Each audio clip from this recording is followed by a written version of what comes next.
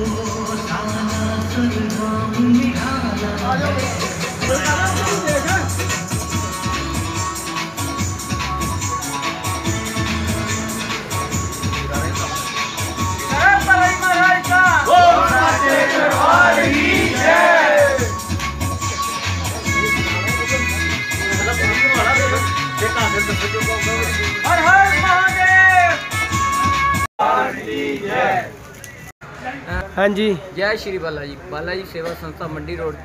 के दुकानदारों की तरफ़ से हर साल की तरह इस साल भी बालाजी के जागरण पर लड्डुओं का लंगर लगाया जाएगा जिसमें एक किलो लड्डू का भोग बालाजी को अर्पण किया जाएगा। जय श्री बालाजी जय श्री बालाजी जय श्री बालाजी हाँ जी